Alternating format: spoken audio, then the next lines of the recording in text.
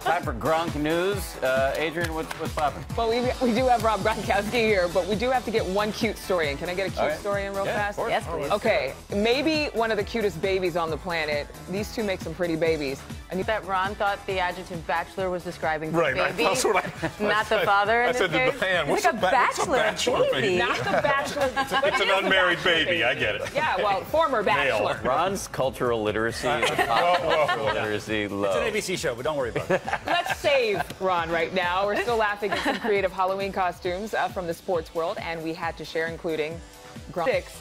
And I don't know how many pounds fit into a traditional Halloween. really got that I kind of got that down. Like that's just yeah. That's just how you are. Yeah, that's kind of how, that's how I am. Ah. We got to tell you, we got some candy for you, but you, this might be not so hot for your diet. Yeah, this is the newest way to enjoy Reese's. Reese's Pieces, that is. Chocolate, peanut butter. Seconds, but uh, as we eat this, uh, tell us about the website. We were just promoting right over before the new app coming out. It's a Mm-hmm. virtual expression app. It's a Mojet. Mojet. Uh, you can go to mojet.com to start. Uh, we're only taking the first 50,000 for pre-sign up. So get there now. Pre-sign up right now, everyone. Awesome.